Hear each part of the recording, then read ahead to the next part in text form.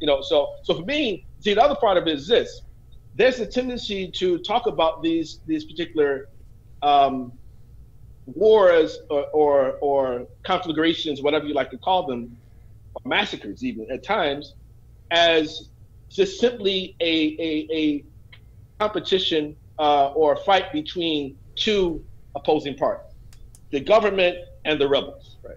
And so, so for for for me, for instance, I lost some friends when I did my post. Naturally, uh, some of them were Syrian, uh, or some of them they, they they grew up there. Uh, but it seemed to me that I lost them because it was as if the only option I had was that I had to come out and say I support the rebels. I said no, because they said okay, if I don't support the rebels, I don't support the Syrian people. I said no, no, no, no. I know I support the Syrian people. But you know who I support? I support the overwhelming majority of Syrians, those people who are fleeing, those people who don't want to fight, those people who just simply want to live a life, right, where where where, where they're they're flourishing, they feel safe, right? You understand? They they're able to keep their families safe. The That's innocent the civilians, yeah, right, yeah, right. So we forget about the, that third group, right? And usually it's the majority of the people. They don't want war.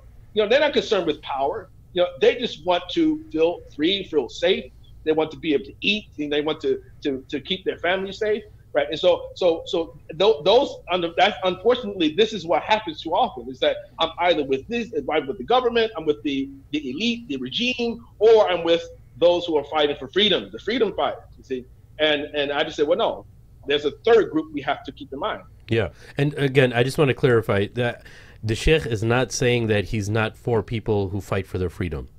But he's saying right. is that in the context that we're living in now, the freedom, the people who happen to be the freedom fighters, end up in many times being funded by somebody, or there's an initiative why they're becoming powerful, right? For instance, um, you know, the support some some rebel groups you know, as far as uh, even when ISIS was concerned, some of them broke off and were being supported by America. The rebels, at first they were enemies and then they were friends. And that means there's this game happening. But the unfortunate thing is, innocent Muslims and innocent human beings get caught up in the middle. And your concern is, I can definitely invest my hopes and help for the people that are innocent. For the yes. rebel groups, I'm not saying that you shouldn't rebel against oppression. That's not what I'm saying. But right. as the political engine now is moving, my feelings and my heart and my tears are for those people who are innocent women, children, old people, and just people who have nothing to do with anything. They're just trying to fill their stomachs and survive. And Sheikh, yeah, uh, if I understand you correctly, you're saying if I knew, if you knew that there is a group that is purely, you know, is not acting on the interests of anyone else, that they are only supported by themselves, their own um, ingenuity in their own organization, and they were truly fighting for the Syrian people, whether they are. Um, let's even one up yeah, that, not yeah, one up, but let's yeah. just make that more clear. The people who are only doing it for the sake of Allah. Yeah, right. They're they fighting no for the sake interest. of Allah, and that they have they're not influenced by anyone. You would be behind them. Not necessarily. I mean, it's, it's, it's, an interesting question. Like these questions were asked in the past too, like to Imam Malik, Imam Anas, and so so so once uh, Imam Malik had highlighted that that you have to be careful about taking sides when you actually have these groups. Hmm. they, they emerge. And so he actually said that to one particular questioner he said that he said that you know that the the the individual the one the challenger has the tendency to present him or herself or in this case him usually himself as the uh, the more pious one, the more the individual who actually has the integrity, right? See, you know, but then after they they gain power, other things come out. We, this Imam Malik was very, you know, sophisticated yeah. in terms of his political thought. And then on another occasion, someone asked him about if a group actually had risen up, right, is to rebel against the Muslim governor, uh, who shot whose side should they take? Yes. So Imam Malik responded, he said, well, if this if this challenger is somebody of the of the caliber of like Omar ibn Abdul Aziz, then he says, yes, go ahead and join them, right?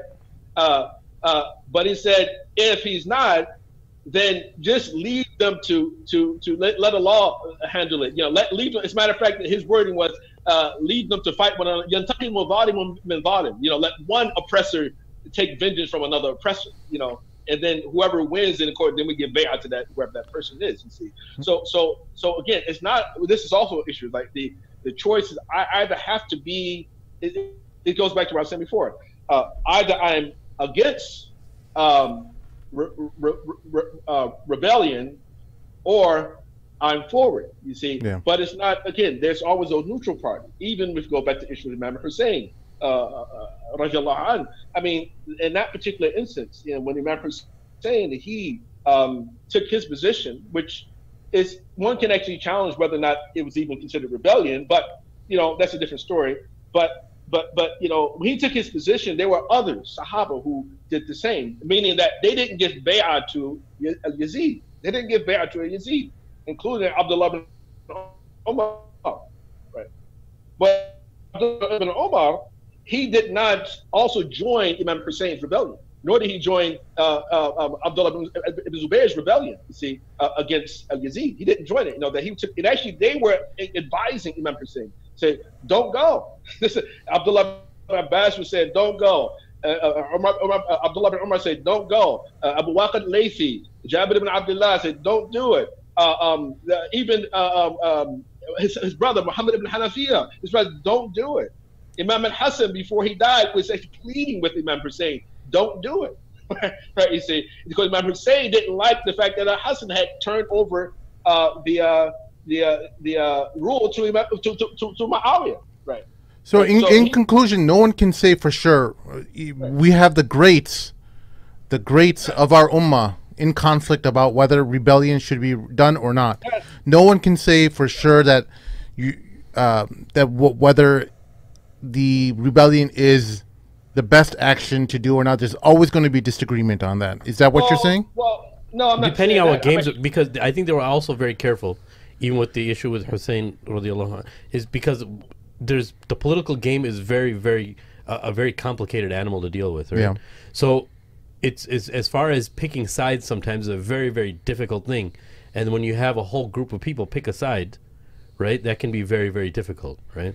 Well, the, also, the history books say about Imam Hussein is that their major concern with Imam Hussein was that the people of Kufa would not go and actually give them the support that they were promising, right? Yeah. Because they did the same thing with his father before, Ali ibn Abi Talib. They said, "Come, come, we're going to support you. We're going to," and so and against Muawiyah, and they didn't support him. You know, they, we're going to support Imam Hussein against the Yazid. They did, they, they, they, and they also did the same thing. They were fearful of him. That, that was one of the main things they were fearful of. You see, uh, and um, so, so, so, but about Ahlul Sunnah, it's very clear that rebellion is not lawful unless, unless, right, you actually have uh, a, a, a, a organized, a well enough organized group, you know, who actually has significant amount of armament or the capacity to actually overthrow. Yeah. In that particular case, you know, that's a different story altogether. You know,